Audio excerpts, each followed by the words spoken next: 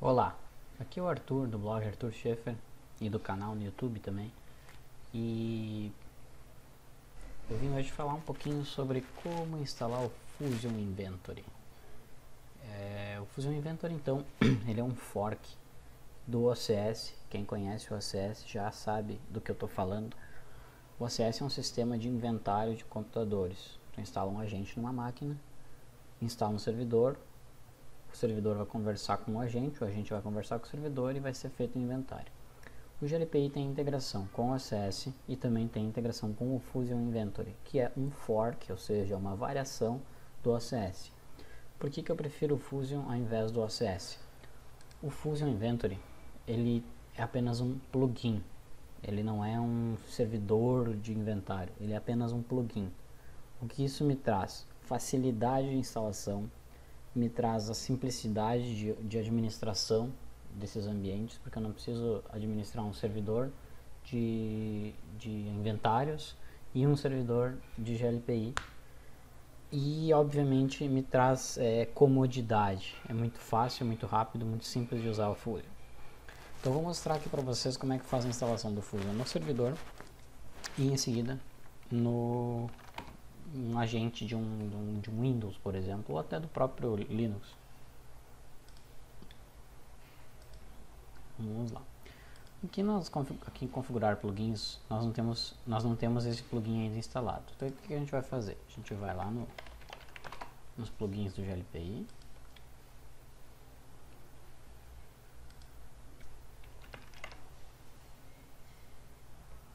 Vamos procurar o Fusion.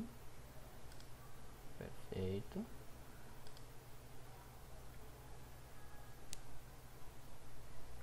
Fusion Inventory.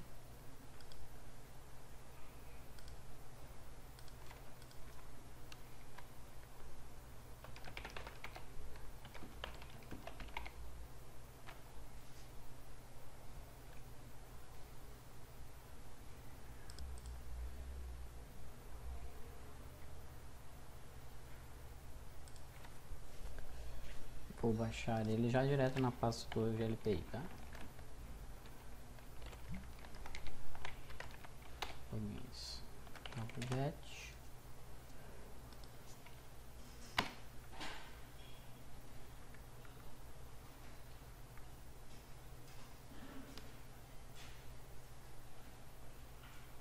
Beleza. Vamos extrair JXF nome do arquivo. Ok. Vamos apagar o outro arquivo que não precisamos mais.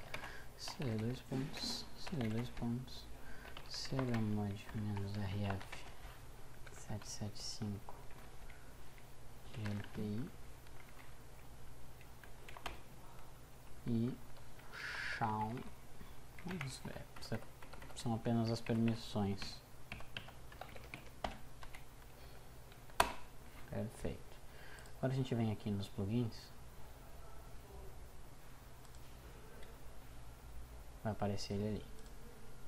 Fusion Inventory tal e tal e instalar.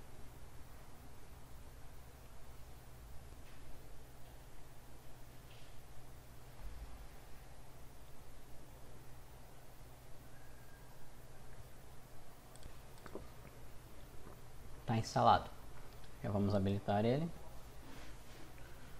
Vou clicar sobre o Fusion Inventory. Aqui está a porta dele. Que eu preciso verificar apenas isso aqui, configurar geral. E a gente tem que conferir aqui então qual que é a aplicação dessa URL, a URL dessa aplicação. A URL da aplicação é qual é o endereço que o GLPI vai responder. Então, é o que vai vir nas notificações, é o que vai ver o link automático para uh, ah, direcionar para a aplicação do servidor e não diferente, o Fusion também pega daqui. Ah, então a gente vai colocar aqui um endereço, vou colocar porque eu não tenho um DNS para ele. E se eu deixar localhost, os outros computadores nunca vão encontrar esse aqui, porque localhost é apenas o próprio localhost, ok? Eu, se eu estou em outra máquina e escrever localhost, ele vai procurar pelo próprio computador e não vai procurar por esse servidor aqui. Então, coloco aqui o IP do, do servidor, né? Uh, barra GLPI, porque eu não uso vhosts aqui. E salvo aqui embaixo. Então no Fusion Inventory a gente tem diversas configurações. Aqui eu, vai começar a aparecer os computadores. Então aqui a gente tem várias configurações. Tem as configurações, configuração geral, a gente consegue, desculpa, a gente consegue verificar então é, se a gente quer que seja somente SSL para o agente, não é o caso agora, qual é a porta do agente, caso eu queira alterar, qual a frequência de inventário, então eu geralmente coloco aqui 12 horas, aí é cada, cada aplicação, cada empresa tem a sua, a sua necessidade específica, mas eu boto aqui então 12 horas, que a primeira vez que o agente conectar com o servidor, ele vai receber essa informação de que é para ser atualizado a cada 12 horas. Uh, eu posso verificar então aqui, ó, atualizar agentes que não contataram o servidor desde em eu posso colocar então aqui, ó, se eu colocar, por exemplo, dois dias, se o, a máquina não comunicou com o servidor em dois dias, limpa os agentes ou altera o status. Então eu coloco, por exemplo, aqui como alterar status e coloco aqui como é, offline. Porque aí o status do equipamento vai se tornar offline. Põe aqui offline. Botar aqui 5 dias, sei lá.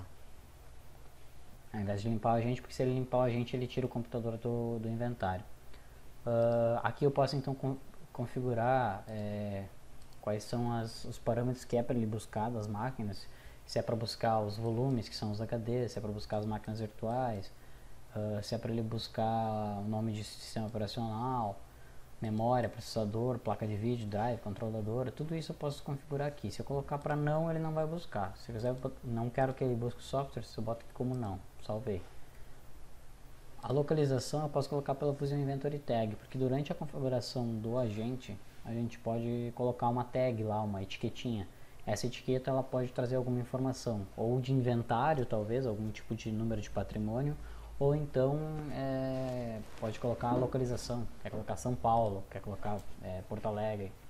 Então, tu pode usar a, a tag para isso. O status padrão, então, vamos criar mais um status aqui. Vamos colocar para ativo. Beleza? Esse vai ser o status padrão para as máquinas que entrarem via Fusion Inventory. Ativo.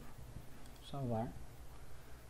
E aqui tem vários outros parâmetros, como inventário de rede, o que é para ele buscar ou não, uh, gerenciamento de pacotes, se tu quiser fazer o envio de, de instalação de software via é, Fusion Inventory, então aqui tu pode colocar qual é a URL, todos os parâmetros, os módulos dos agentes, se tu quer que seja utilizado o Wacom LUN, se tu quer que seja utilizado o inventário remoto de máquina VMware, tudo isso está incluso no agente, aí depende é, mesmo que tu instale o agente completo na outra ponta, se tu não marcar aqui que ele é para usar esse, esses módulos, ele não vai utilizar.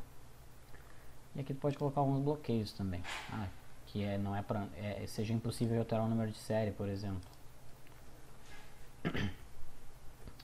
E aqui a gente tem as, as regras para importação automática, a gente tem algumas tarefas, mas aqui nada a gente precisa mexer para a implementação do, do, do, do Fusion Inventor só precisamos instalar um agente em alguma máquina e fazer os testes. Mas antes de tudo, percebam que aqui tem uma, uma, uma informação, GLPI Chrome não está funcionando. Se a gente clicar aqui, vai ver a documentação. Ó, como a gente está usando Linux, a gente vai usar essa informação aqui. Tá? Percebam que isso aqui é o caminho do PHP, se você tiver PHP 7 ou alguma coisa assim, tem que verificar isso aqui. E esse aqui é o caminho do GLPI.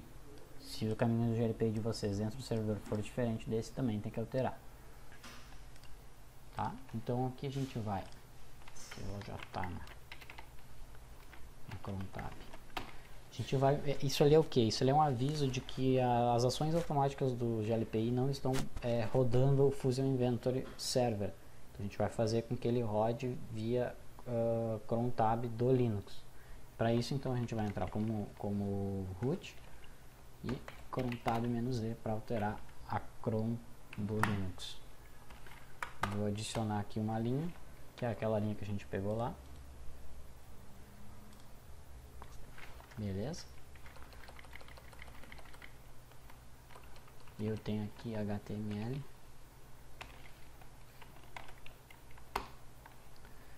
TC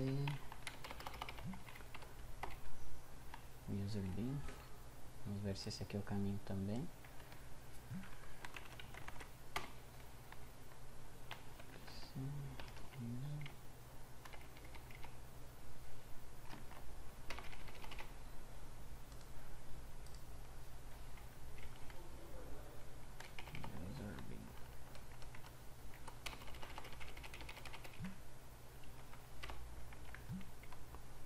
Perceba que aqui eu tenho PHP 7.1.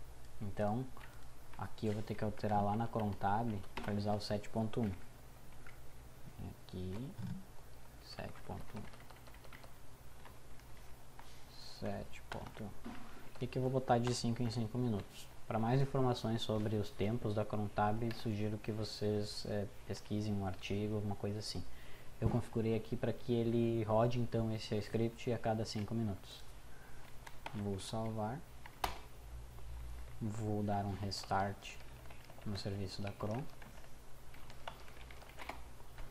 E beleza. Provavelmente aquela informação não vai sair. Em alguns casos ela simplesmente não sai, mas o, GLP, o, o Fusion Inventory passa a funcionar. Em outros ambientes ela sai. Agora vamos instalar um agente em alguma máquina.